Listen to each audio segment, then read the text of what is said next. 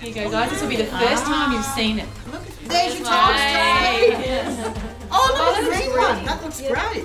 Oh. There's one of our tops. Oh, that looks good.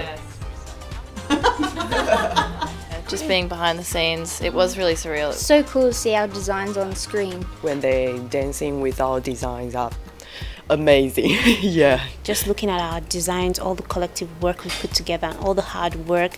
It was humbling, it was inspirational, it was just amazing.